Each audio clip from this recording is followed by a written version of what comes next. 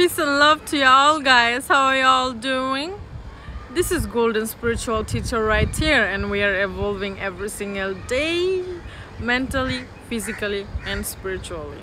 And today I feel very beautiful guys. I feel so beautiful because I'm enjoying the sun, the evening sun on me, the birds and the flowers, the smell of flower and also you know doing yoga daily eating lots of fruits drinking lots of water mm-hmm, and grounding myself. It you know loving mother nature communicating with the spirits allows me to love myself even more. Yes. And i'm feeling so great. And in this moment of my life what i want to tell you is that I love you. Thank you all for supporting me. And also, please boost your self-esteem. You need to boost your self-esteem because anything that you do, it's you. It's you.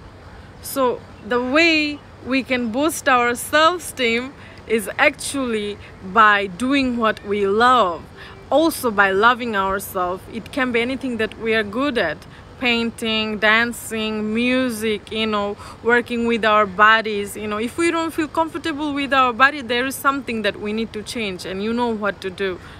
You know what to do. It's all in your hand and only by having high self-esteem we can manifest anything in our reality. We can create our reality just the way we want to create and it's only by the way we're loving ourselves, things that we are doing, boosting the self-esteem.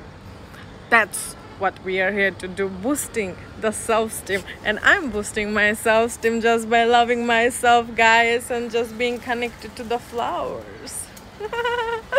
and just loving myself, drinking lots of water, sun gazing, looking deep into the sun, and smelling the flowers, eating lots of fruits, you know art lots of arts and writing. This is how we are boosting our self-esteem. I love you guys. Much love. Namaste